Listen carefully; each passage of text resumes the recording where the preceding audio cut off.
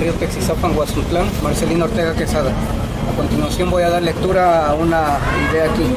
Dice a la opinión pública, los representantes del Comité de Cuenca del río Guazutlán nos dirigimos nuevamente a la ciudadanía para aclarar lo siguiente que el trabajo de restauración que se ha realizado en la Sierra de Santa Marta es un trabajo incluyente, en donde participan comunidades popolucas, inaguas y mestizos, en la cual a través de los años que se han ido incorporando más comunidades preocupadas por el medio ambiente.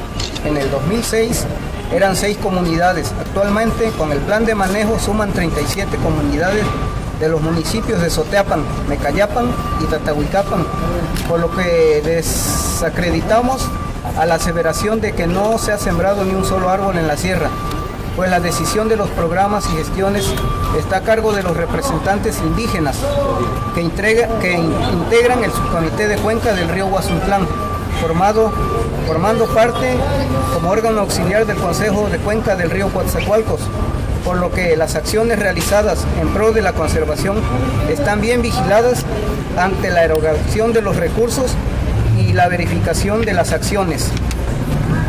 Dentro del marco de la Semana Nacional del Medio Ambiente, el Subcomité de Cuenca del Río Guazuntlán ha estado trabajando en el programa Cuencas y Ciudades, siendo una estrategia de acelerar a las comunidades indígenas que abastecen el agua a la presa Platanillo y Yuribia, denominado Cuencatur, en donde las escuelas primarias y organismos, empresas visitan nuestro vivero en Ocotal Grande.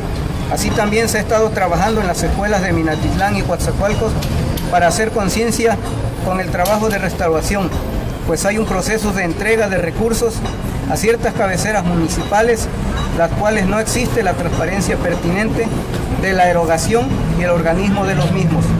Exhortamos a la población de Coatzacoalcos y Minatitlán a que visiten en la sierra y ellos puedan ver que las acciones que hemos desarrollado se han generado cambios para la ciudadanía, para el cuidado de las aguas de las ciudades y que las gestiones realizadas por el subcomité tienen resultados y a cambio de trabajo y esfuerzo, mismo que ha permitido integrar a 37 comunidades de la Sierra de Soteapan. Una gota de ti para el agua de todos. Oye, Marcelino, entonces no les han pagado todavía. Mire, lo de servicios ambientales todavía está pendiente, eso sabemos que es una anualidad que, válgame la redundancia, cada año se está, se está recibiendo. Eh, quiero comentar aquí que en, en el proceso que se ha dado, las instituciones que han, eh, se puede decir, han dado recursos, este, no toman la decisión de a quienes se les da. Los recursos se toman en las asambleas comunitarias donde los 37 representantes de las comunidades deciden ahí y se pagan trabajos realizados. No se les regala el dinero a la gente como en otras partes. Se les pagan los, los trabajos que ellos realizan a cada uno de los beneficiarios. Ni Carlos Robles ni Marcelino Ortega tiene la decisión de a quién se le van a dar los recursos. Simplemente vía nómina y se comprueba con bitácoras, con fotografías con GPCO de las actividades que se realizan y así es nuestra, metodología de trabajo que hemos usado ya tiene tiempo. ¿Y se quiere desestimar el trabajo que ustedes han hecho? Así es, eh, en días pasados hubo una nota amarillista, tal vez ustedes la vieron, que pues nos están desacreditando, donde dicen que no hemos sembrado ni un arbolito, a lo que, a lo que estamos diciendo aquí, que invitamos a la ciudadanía, al Cuencatur, algunos de ustedes como Sergio ya ha ido, ya se han dado cuenta de la realidad que tenemos árboles de 12 y 15 metros ya. Entonces hay áreas que ya están conservadas, ya se han hecho productivas, ya le están sembrando café, chocho, tepejilote. Entonces ahí hay una, una gran verdad que no se puede ocultar y como les comentaba hoy más, ya los compañeros tienen su stand allá en la Plaza de la Alameda por el día de hoy que se celebra.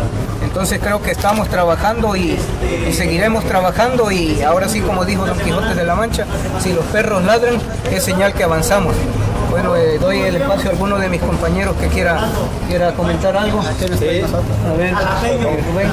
Rubén Mateo. Eh, miren, sí, ya como redundando todo, ¿no? Compartiendo lo que mi compañero acaba de mencionar, el 2 de junio precisamente fue la reunión, llegaron los periodistas y este, no sé con qué fin lo hicieron, ¿no? Porque realmente algunos de ustedes pues conocen el trabajo que se está haciendo. Entonces, pues incluso el propio secretario de gobierno, Víctor Alvarado, ha visitado las acciones que se está haciendo. Por eso reafirmo de nuevo que mi compañero lo que dice, que se ha estado trabajando, se ha estado haciendo. Le he enviado una foto aquí al compañero Balandrano y se da cuenta que realmente todos los trabajos que se está haciendo, no por la frase de que dice Marcelino Ortega y Carlos Robles están clavando dos millones de pesos, es- eso es totalmente falso.